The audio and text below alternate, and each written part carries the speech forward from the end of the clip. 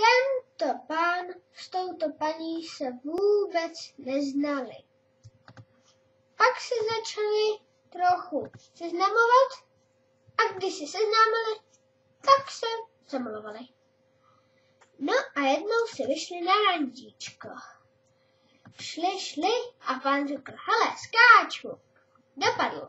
Paní skočila, dopadlo jen tak tak. Pak skákali oba. Svatbičku. Dali si první manželský polibek.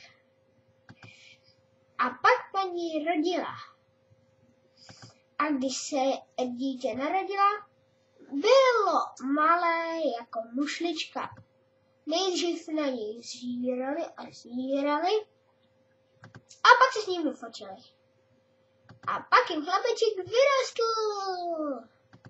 Toto je konec toho prvního příběhu o lásce a jednom chlapečkovi. Konec!